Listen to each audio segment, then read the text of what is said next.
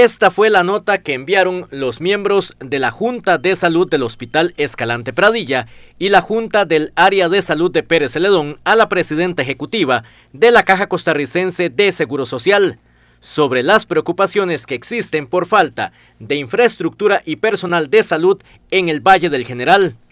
Los representantes de ambas juntas quieren respuestas que vengan a colaborar con la salud de nuestro cantón y con copia a los diputados, con copia a los comités, con copia a organizaciones del cantón, eh, para unirnos em, y en, una, en, una, sola voz para empezar a reunirnos con ellos, ¿verdad?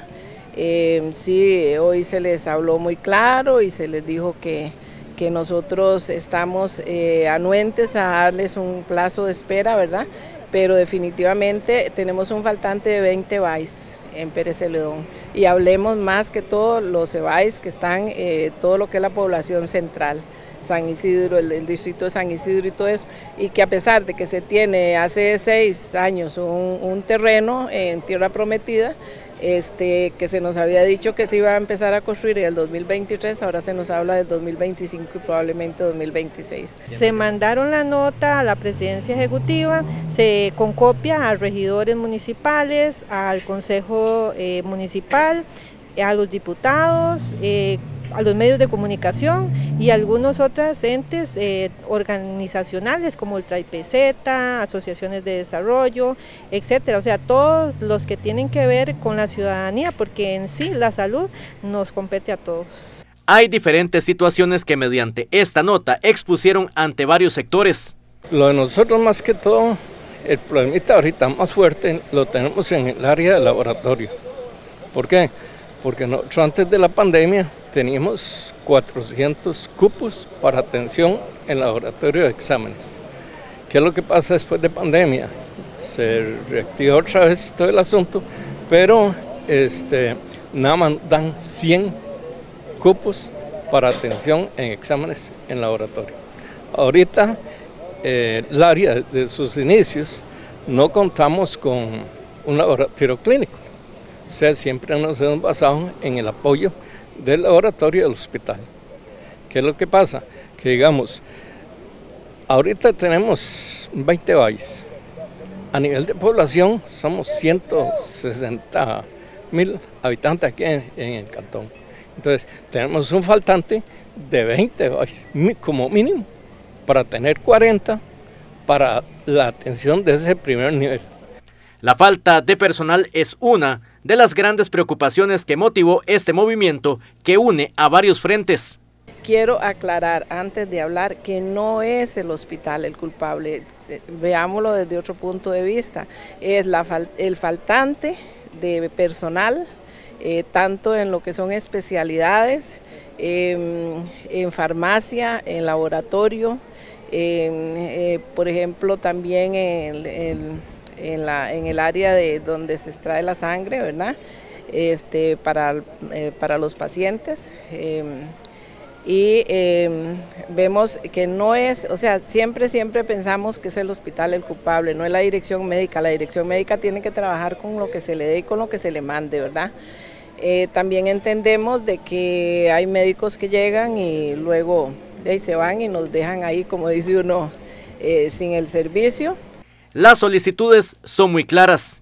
Dentro de esos que nosotros estamos solicitando por medio de notas y por medio de presión que estamos ahora eh, retomando en este año 2023, este, lo que queremos es eso, que nos, una dos, que nos den más EVAIS, pero también las plazas, porque nada hacemos nosotros con que nos den más EVAIS si no contamos con las plazas. Entonces, las dos cosas tienen que ir unidas. Ahora, este, el centro de San Isidro, al no tener EVAIS, está desprotegida totalmente. ¿A dónde vamos todos esos del, centro de San Isidro? Al hospital. Entonces, ¿qué hacemos? Colapsamos el sistema de emergencias. Entonces, al estar colapsado el sistema de emergencias, esta semana ya existió una reunión virtual con representantes de la caja, Tuvimos una reunión con los jerarcas de la Caja de Costarricense del Seguro Social eh, se plantearon y se los, un primer encuentro con ellos para lograr mejorar todos los servicios que requiere la, la población generaleña y más allá también beneficiar lo que es la región Brunca.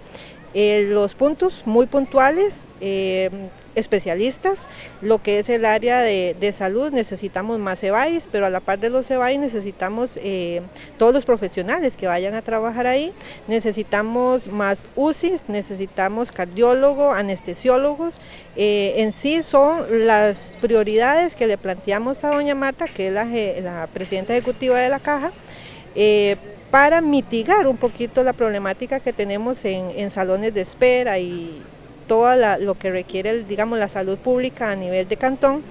Con una población de más de 160 mil habitantes y teniendo un hospital que es referencia regional, la situación es grave y por eso se unen varios frentes. Exactamente, porque si hay que presionar de otras formas también lo haremos, porque esto no puede ser, esto yo no diría que sería un abandono, sino que sería una, irresponsabilidad de quienes manejan la, salud, porque para eso, para eso los asegurados pagan, los asegurados están pagando, no es que, no es que se atienden de gratis.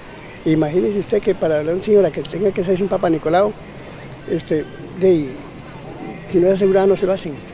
Y eso, digamos, repercute en enfermedades muy graves, que ojalá que no, que no, tengamos que valorar todas esas, situaciones en tan poco tiempo.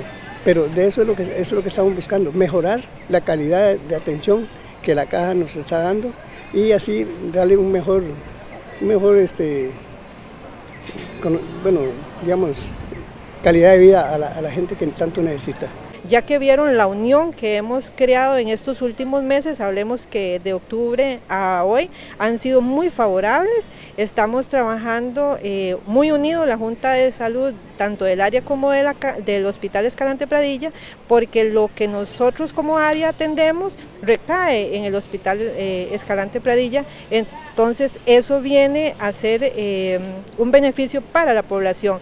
Cuando hay una mejora de uno, mejoramos lo otro y por supuesto vamos a mejorar la calidad de los servicios que la ciudadanía, va a, ser atendido. Este viernes también sostuvieron una reunión con el diputado Ariel Robles.